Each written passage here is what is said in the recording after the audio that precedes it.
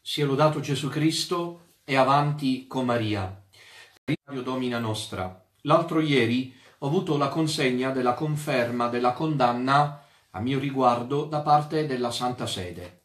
Questo testo che ho qui con me è un testo stracolmo di canoni del codice di diritto canonico e Don Minutella, rispetto ai tanti pastori bizzarri, eretici, stravaganti, ballerini, canterini, rinunciatari del credo, camerieri in chiesa, eccetera, che invadono i social network, è trattato alla stregua di un criminale.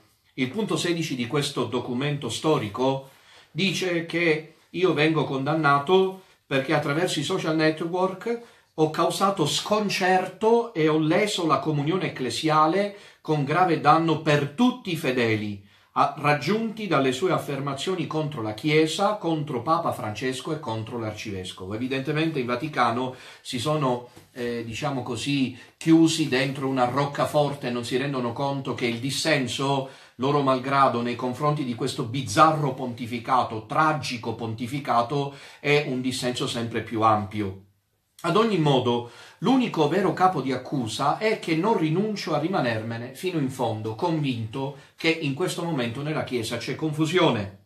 Un testo bizzarro dunque, perché è surreale, pieno di incongruenze, privo di lucida e sana obiettività, che risente del travaglio emotivo di questi poveri uomini al governo nella Chiesa per il fatto che un prete, un povero prete, di periferia che fa odor di pecore, anche se hanno cercato di strappargliele queste pecore, rispetto a tanti altri non si è ancora piegato al ricatto di inchinarsi di fronte al Nabucodonosor dei nostri tempi. Non è sorprendente, ormai è quasi certo, che presto circolerà un testo in cui si richiede cieca fedeltà al governo attuale della Chiesa.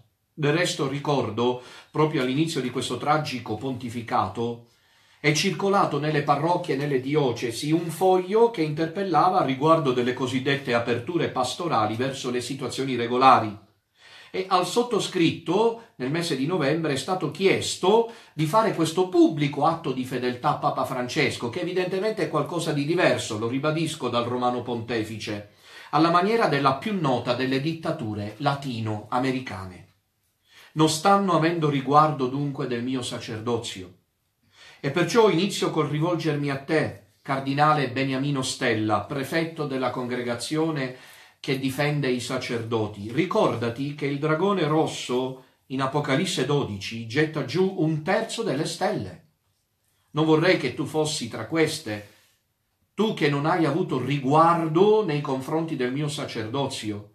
Prima il vescovo Corrado, Ora tu, cardinale Stella, sotto l'occulta regia di chi vi asserve, avete compiuto un autentico atto di profanazione di cui corrisponderete dinanzi a Dio. Avete distrutto distrutto il cammino di una comunità parrocchiale che fino a prova contraria era una parrocchia cattolica, eucaristica, mariana, dove non era permesso, come invece permettete che avvenga, che circoli il pensiero eretico dei vostri metra penser che fate bene a tenerveli, e avete distrutto questo cammino. E che siete, a dire il vero, meritate compassione, perché siete emotivamente provati, Credevate che con la stravagante alleanza dei media, a partire dalle Iene, ciò di cui dovreste vergognarvi, non solo perché avete cercato questa alleanza, ma perché lo citate in un documento ufficiale della Santa Sede. Ditemi voi, cari amici, se c'è più mondo, anzi se c'è più Chiesa.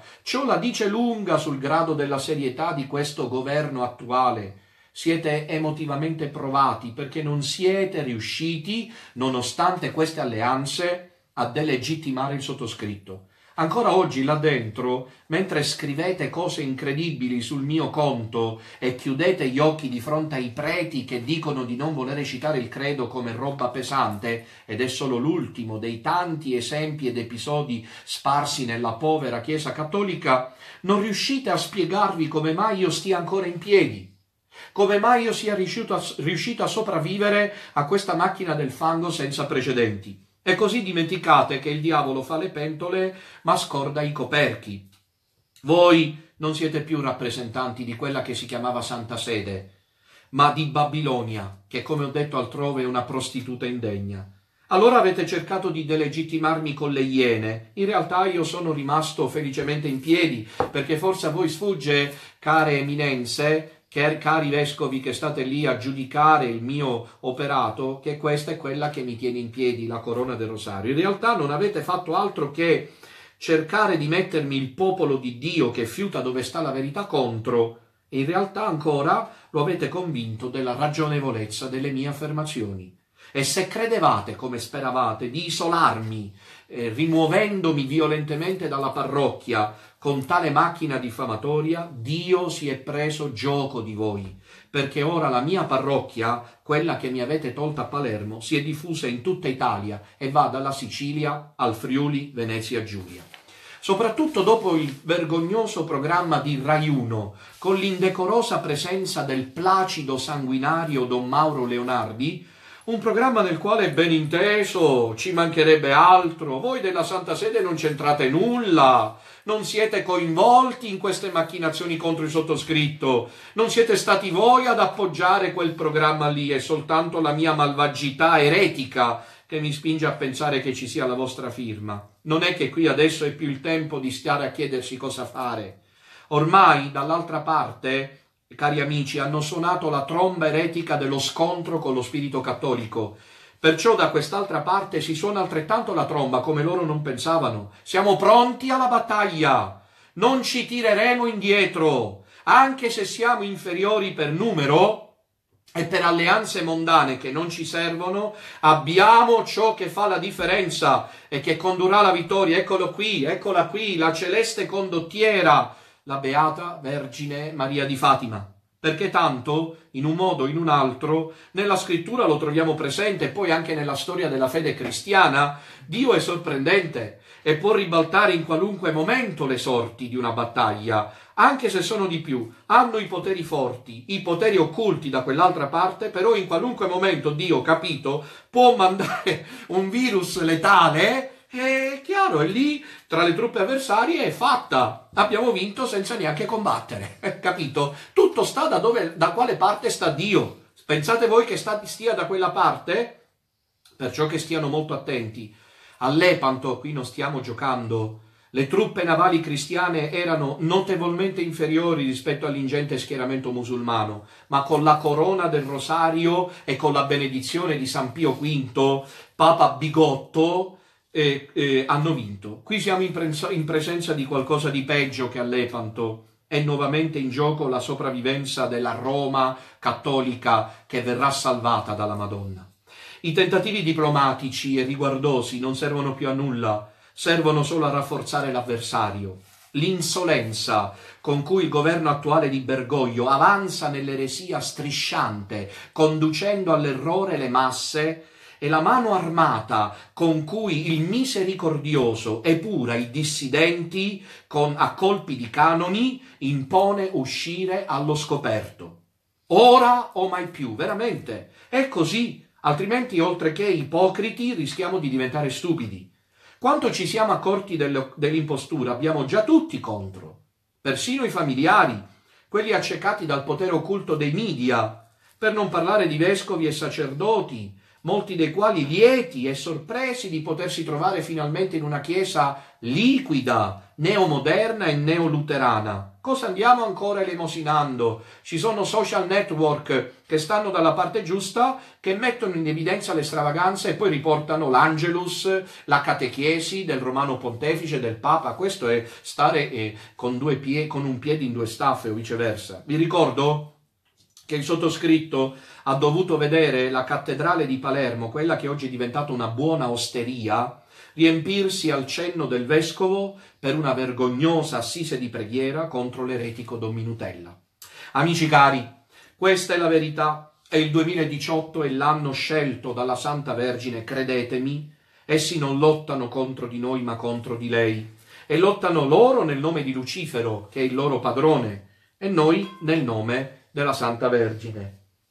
Se abbiamo deciso di rimanere cattolici di fronte a questa impostura unica nella storia della Chiesa, vi prego di venire fuori. Scrivete alla Santa Sede, alla congregazione per i laici, che così stando le cose volete anche voi, come Don Minutella, andar via da questa falsa chiesa. Volete anche voi la condanna e la scomunica. Non possiamo stare oltre con questa multinazionale della vergogna e della menzogna.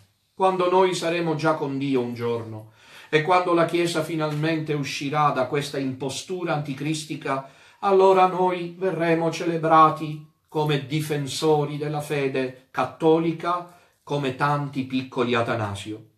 Come ho annunciato ieri, adesso mi rivolgerò direttamente a Francesco, per interrogarlo sui contenuti, non su tutti, perché se no non ce ne andiamo più, talmente sono tante le cose dove lui ha creato confusione, ma comincerò questa sera su un argomento specifico, la comunione ai divorziati risposati. Seguite con attenzione questo, perché se ho creato confusione io, sarò io degno e passibile di condanna. Se è stato Bergoglio, è lui che deve essere condannato.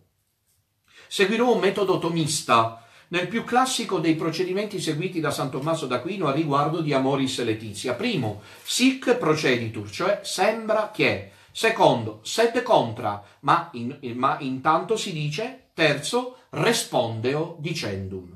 Ne tirerò la conclusione che i prelati della Santa Sede hanno perduto, come la Madonna aveva detto a Sor Lucia, ogni obiettività e pertanto le loro sanzioni canoniche sono inutili e ingiuste, perché fautore della confusione è Francesco, non quanti chiedono in un modo o in un altro di chiarire. Dunque, primo punto, sic proceditur, sembra che.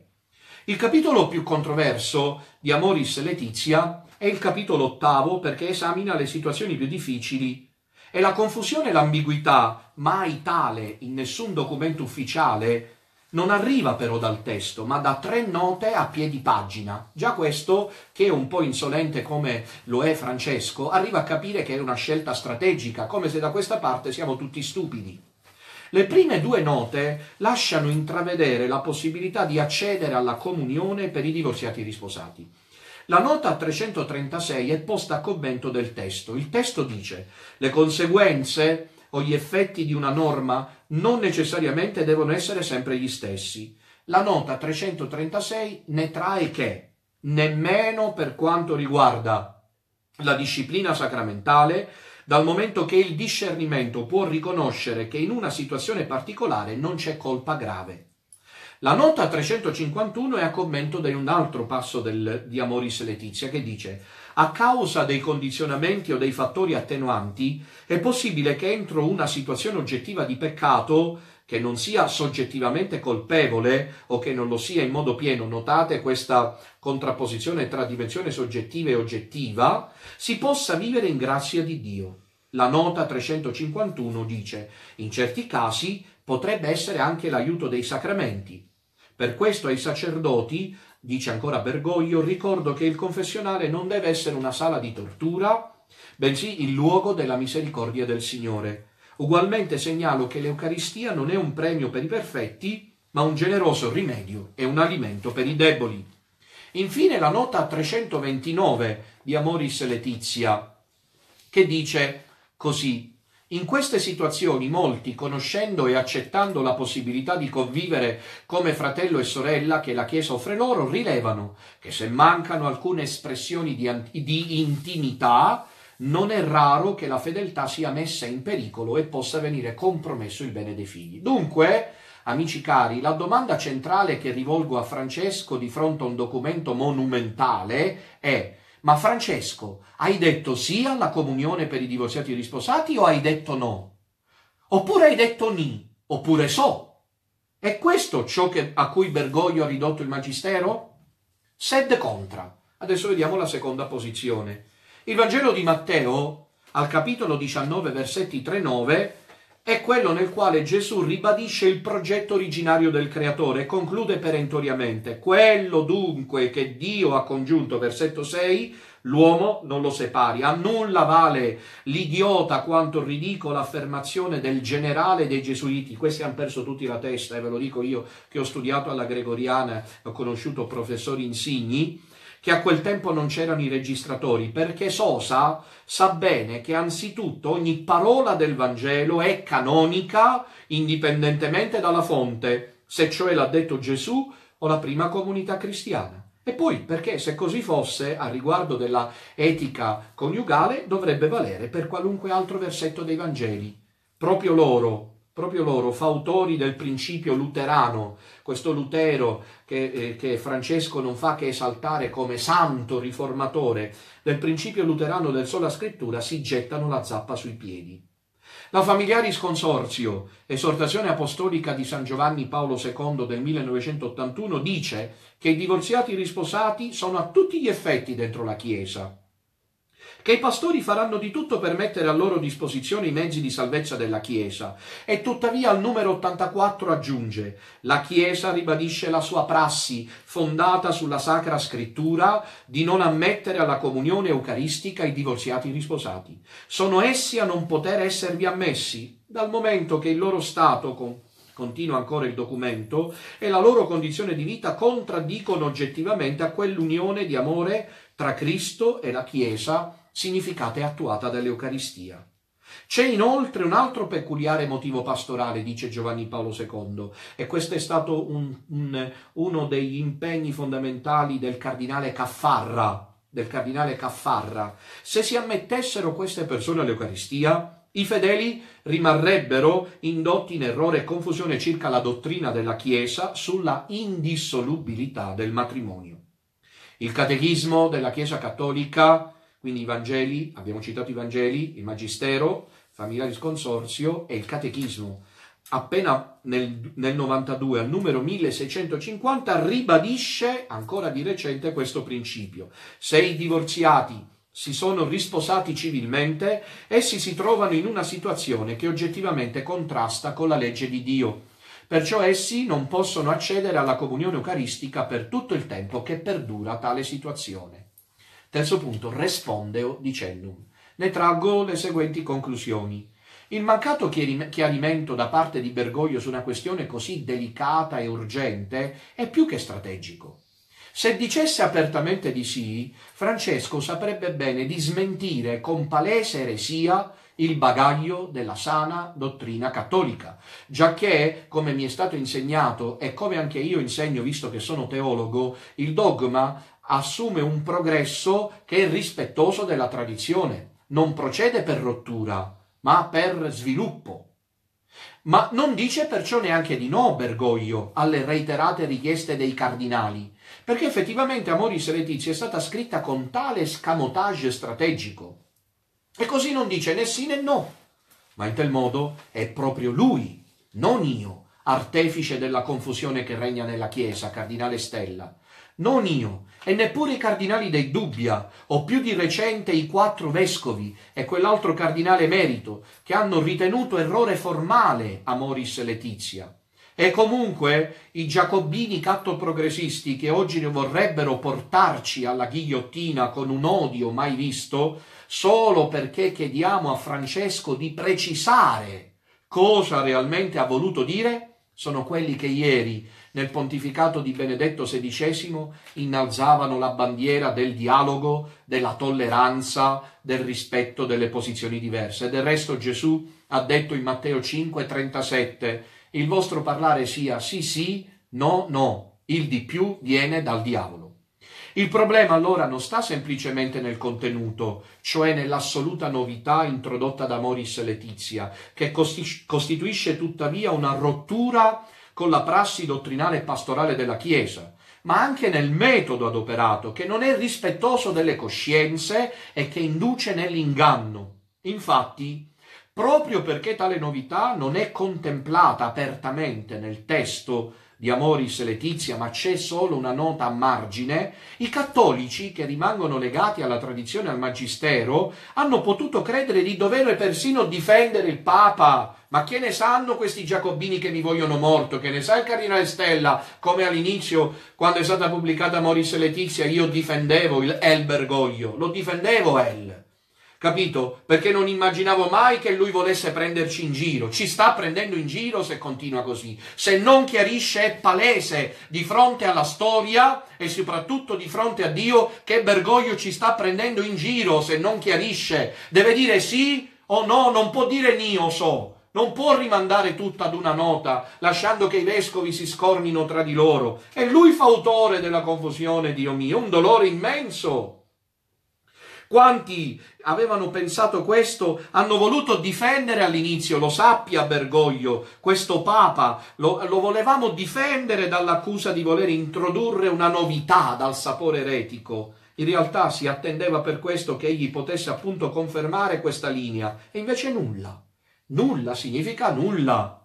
Capito? C'è tempo per accogliere in Vaticano i transessuali che cambiano sesso e si sposano, c'è tempo per tutto, per andarsi a comprare le scarpe, l'orologio e gli occhiali, ma non c'è tempo per rispondere a questo, diciamo, battage di cattolici eh, che tagliagole. Siamo cattolici tagliagole. Nel frattempo, quanti si sono sentiti come traditi in un modo o in un altro hanno rivolto degli appelli specifici. Ci sono i famosi dubbia dei cardinali, e poi il modo sempre ritenuto eccessivo come quello del sottoscritto. Ma cosa volete? A me lasciatemi in pace, sono fatto così, sono fatto così, amici cari. E come detto, la dichiarazione dei quattro vescovi e di un cardinale merito, per non parlare della perplessità sempre più ampia espressa da giornalisti cattolici non allineati.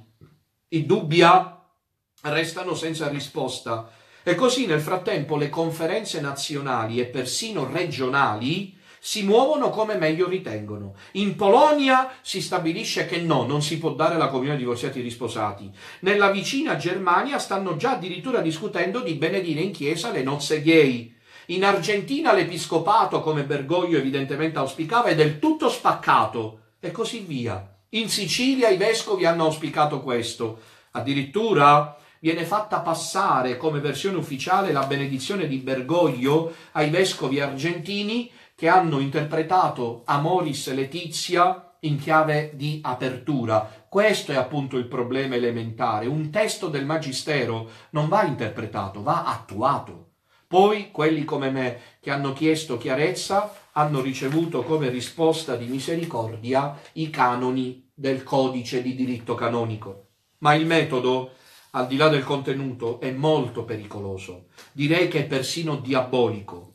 Anzitutto perché Gesù, come dicevamo, ha detto il vostro parlare sia sì, sì, no, no. E poi perché introduce un precedente. Se con il registro tipico di Bergoglio, che è quello dell'ambiguità collaterale, si è potuto innescare un processo divisivo tra vescovi e conferenze, tra preti, e vi comunico, cari amici, che sono informato, perché ormai vengo raggiunto da tutta Italia, di contrasti dentro le comunità religiose maschili e femminili, chi pro e chi contro, Capito? Altrettanto potrà essere fatto con gli altri temi in agenda, celibato sacerdotale, diaconato alle donne, messa ecumenica, relativismo salvifico, presenza reale, eccetera. Tutto sarà sempre portato avanti in nome della Chiesa che si modernizza e che si apre e così noi rimaniamo retrogradi e farisei dal cuore duro e se insistiamo veniamo buttati fuori in nome del Papa della misericordia, del Papa che vuole eh, ponti e non muri.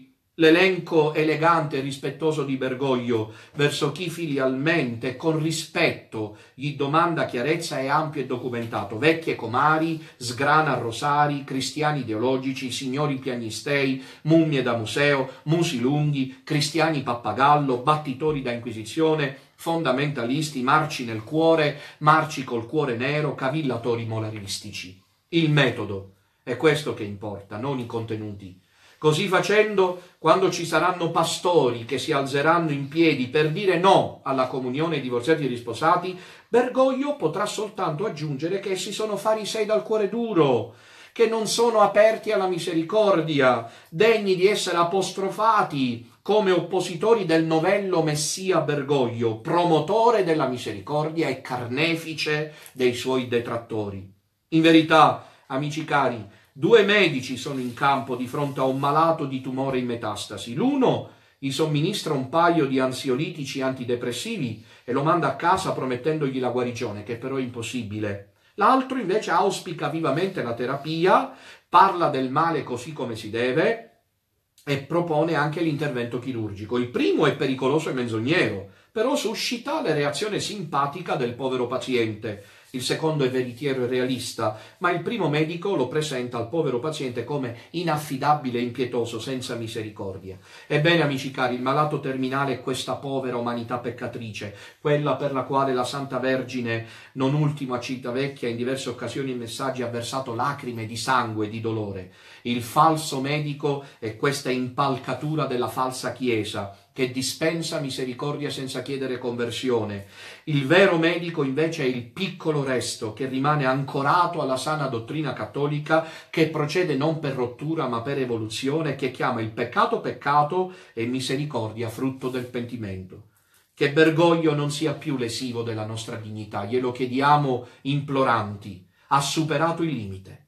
Mi spiace per i codardi e i vigliacchi che sono consapevoli e tacciono Così procedendo il meccanismo diabolico è bello e fatto, saremo ghettizzati, sta per nascere il ghetto cattolico come c'era il ghetto degli ebrei.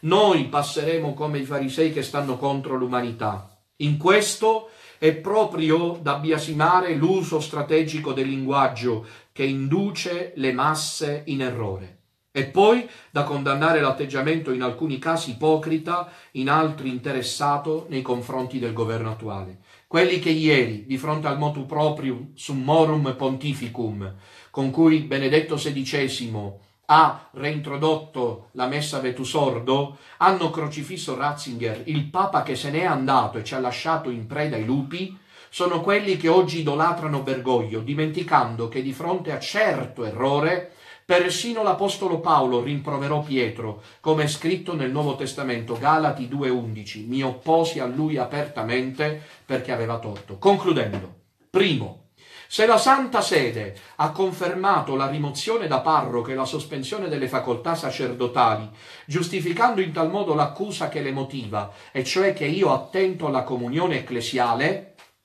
Poiché il diritto è cogente e la legge è massimamente distributiva di sentenze equanime, cioè vale per tutti, perciò tutti coloro che come sottoscritto hanno in un modo o in un altro manifestato perplessità e disagio di fronte all'ambiguo magistero di Bergoglio, possono ritenersi altrettanto attentatori della comunione ecclesiale e perciò rimossi e sospesi. Oh, come sarebbe auspicabile che i tanti preti e vescovi che ne sono consapevoli facessero questo gesto profetico, e se no, pensiero da regime e dittatura bergogliana. Seconda conclusione. La causa dirimente della questione non è attribuibile alla mia denuncia, alla quale non è mai stata data alcuna risposta indecernendo, ma all'ambiguità di Amoris Letizia, priva di chiarezza a riguardo di un tema talmente decisivo da coinvolgere l'etica coniugale, la sacralità dei sacramenti, la questione del rapporto tra grazie e stato di peccato, la trattazione teologica e canonistica dell'indissolubilità del matrimonio come vista dal, dal progetto del creatore. Dove andrà a finire questo sinedrio bergogliano se continuerà a rispondere alle legittime domande di chiarimento con la condanna e il codice di diritto canonico? Terza ed ultima conclusione. Ma c'è di più ed è il punto conclusivo. Per il principio di non contraddizione e per l'istituto giurisprudenziale del divieto di bis in idem, cioè del doppio giudizio, la rigorosa applicazione della legge prevede che la sentenza sia unica e non contraddittoria. Ciò vuol dire, in parole povere, amici cari, stasera sto parlando un po' così, ma mi capite quanto è importante l'argomento, che se si dimostrerà che la legittima richiesta di chiarimento a riguardo del documento magisteriale di Amoris Letizia e non solo, non trova riscontro se non nella violenta applicazione di norme di condanna, allora il sospetto di eresia e di attentato alla comunione ecclesiale ricade non più su coloro che richiedono da sudditi legittima spiegazione ad un pronunciamento non chiaro, ma esattamente in colui da cui l'atto o il pronunciamento proviene. Ergo, dunque, è più che attendibile, se non ci sarà un pronunciamento chiaro di Bergoglio, che non io, prete di periferia, sono attentatore della comunione ecclesiale, ma egli, venuto dalla fine del mondo, in quanto ostinatamente e palesemente deciso a non voler chiarire, incorre nella sentenza di rimozione dall'incarico di pontefice e nella sospensione di ogni facoltà. Giacché la legge è uguale per tutti, e come si trova scritto nella sacrestia della parrocchia Villabate del mio amico parroco Ricotta, chi è cattolico deve obbedire alla dottrina cattolica. Questo vale per tutti, nessuno escluso. Non si è mai visto, cari amici, mai visto che di fronte alle richieste di chiarimento, che sono garanzia di comunione, alla luce peraltro del Concilio Vaticano II, il Papa, anziché chiarire e benedire, condanna e tira via dalla Chiesa. E per favore, Eminenza Beniamino Stella, sia realmente più serio. Non prenda a prestito di questione canonistica quello che è addirittura un reato di estersione. Mi riferisco al malevolo montaggio delle Iene, dove tutto serve a fuorviare dai contenuti distorcendo la realtà che una sacra congregazione vaticana, a firma di un eminente cardinale, prenda a prestito un'estorsione mediatica e si appoggi ad una trasmissione irriguardosa dei più elementari e basilari diritti di privacy, ciò non solo è ragione di sconcerto, ma procura in me scandalo. Gesù ha detto guai a coloro che scandalizzano i piccoli. Eminenza, sono realmente scandalizzato nel vedere lo stato impietoso del Vaticano. Lei ne renderà conto dinanzi al Tribunale di Dio. Nel frattempo dovrò forse prepararmi a nuove incursioni. Chissà, troveranno forse nuove, improbabili e fallimentari frontiere, pedinamenti, Inter- intercettazioni telefoniche, tentativi reiterati di estorsione. Cari amici, io sto abbastanza bene in salute, non ho problemi al cuore, guido con grande attenzione e sportività la macchina. Chi può capisca. Qualunque cosa possa accadermi, ebbene, d'ora innanzi sospettate abbondantemente. Madre mia, mi affido a te. Amen. Sia lodato Gesù Cristo.